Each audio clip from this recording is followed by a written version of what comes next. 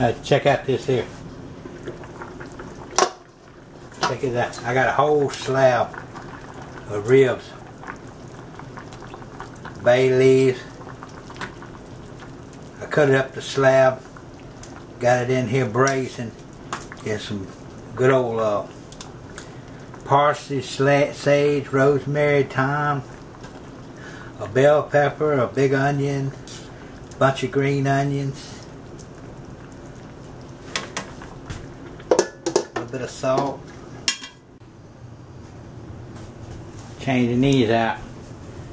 That's the story of my life. The other day I made this in half a block. That this was a, a whole block at one time, but I just made half of it, so I'm going to repeat the process.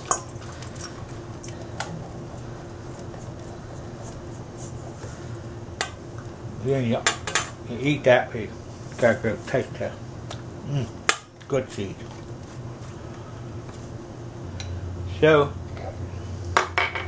you take us a spoon full of pimenters, at a half, half a jar. Like I said, I used the other half a jar the other day. And just stir them up and then put some black pepper. Put black pepper like that. Give it a little bit of a pep, not much. And then, and then.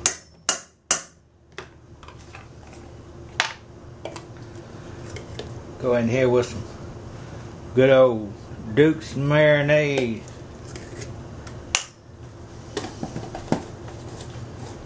Couple of couple of spoons full like that. See.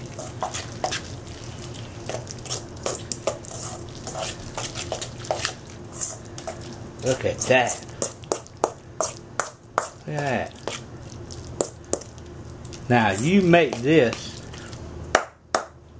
and buddy, you won't buy no more of that. You won't buy no more of that stuff that they sell in a plastic container in the store. Mmm, mmm, that's good. Grandma says she wants her a pimento cheese sandwich, and this is just how you did it to make. You take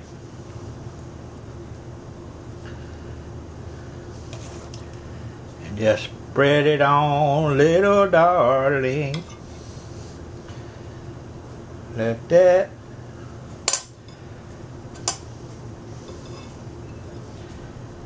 Oh yes. Oh yes indeedy.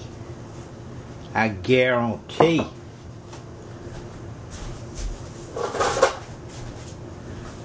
That right there is a southern favorite right there, buddy.